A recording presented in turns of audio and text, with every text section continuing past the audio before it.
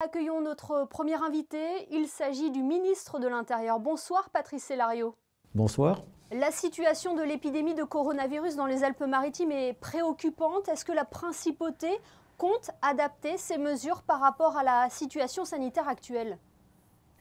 Alors, en, effet, l'évolution de la situation sanitaire euh, se, je dirais, se dégrade un petit peu, notamment dans, le, dans les Alpes-Maritimes, et il est apparu, il nous est apparu nécessaire d'adapter euh, les mesures qui sont actuellement en vigueur en principauté. Il est évident que l'on constate une augmentation du taux d'incidence qui nous amène à prendre des mesures complémentaires.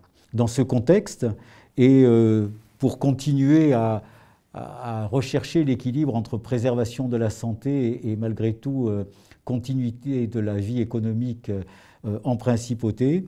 Nous avons euh, décidé, le gouvernement princier a décidé, sous l'autorité du prince souverain, de limiter l'accès des restaurants aux personnes qui résident en principauté ou travaillent en principauté ou séjournent en hôtel de la principauté, et ce, à compter du samedi 2 janvier au soir. Donc ce samedi, ils devront euh, montrer un, justificatif euh, prouvant euh, leur bonne foi aux restaurateurs, par exemple.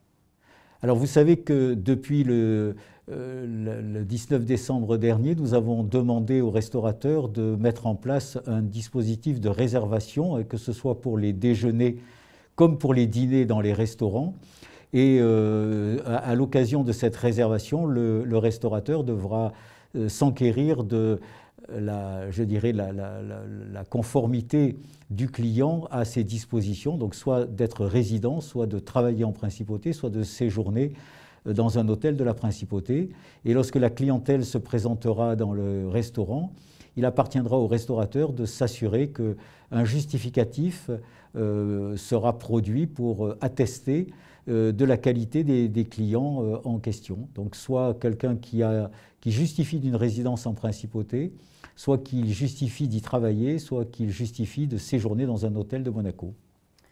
Le ministre de la Santé euh, français, Olivier Véran, a indiqué qu'un couvre-feu plutôt à 18 heures pourrait être mis en place dans les régions qui sont particulièrement touchés par euh, la Covid-19, un couvre-feu dès 18h. Est-ce qu'il est également envisagé de mettre un, couvre-feu à 18h ici aussi en principauté? Pour, l'heure, une telle disposition n'est pas envisagée. Je, répète que le taux d'incidence, si euh, il a évolué euh, ces derniers jours de manière un peu défavorable en principauté, demeure sensiblement inférieur au taux d'incidence qui ont amené les autorités françaises à prendre une telle disposition. Quelles sont les, mesures qui seront mises en place le 31 décembre, le soir de la Saint-Sylvestre en Principauté? Le soir de la Saint-Sylvestre, donc le, gouvernement en princier a, décidé de maintenir le couvre-feu à 20h, de 20h à, 6h du matin. Euh, et il a décidé également que l'accès à, à, la principauté, à compter de 19h, serait en fait limité aux personnes qui euh, séjournent en principauté, c'est-à-dire soit qu'ils justifient d'une résidence en principauté, soit qu'ils justifient euh, d'une réservation d'une nuitée d'hôtel dans la nuit du 31 décembre au 1er janvier en principauté. J'imagine que les contrôles de police seront euh, renforcés ce soir-là, ce soir du 31 décembre?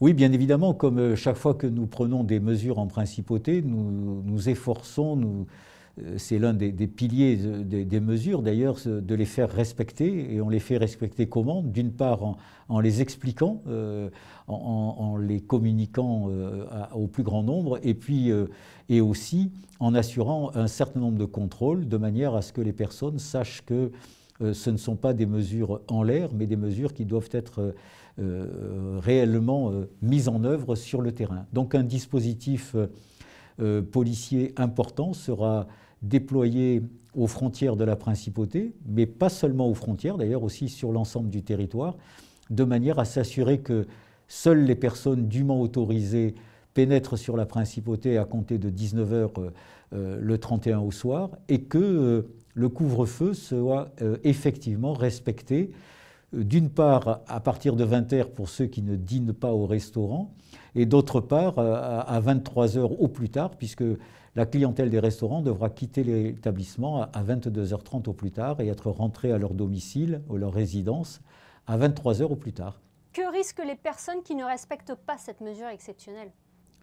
Ben, les, personnes risquent, comme euh, pour toutes les autres euh, infractions aux mesures prises euh, pour lutter contre l'épidémie, une contravention de, 100 euros, hein, puisqu'elles sont transigées. Et s'il y a récidive, il y a bien évidemment la verbalisation qui est doublée.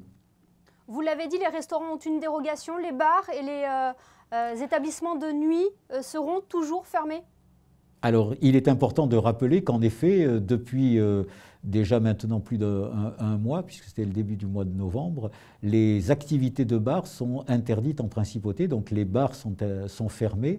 Et de la même manière, les, discothèques, les boîtes de nuit, les établissements de nuit sont effectivement et demeurent fermés en principauté. Merci Patrice Célario pour toutes ces explications.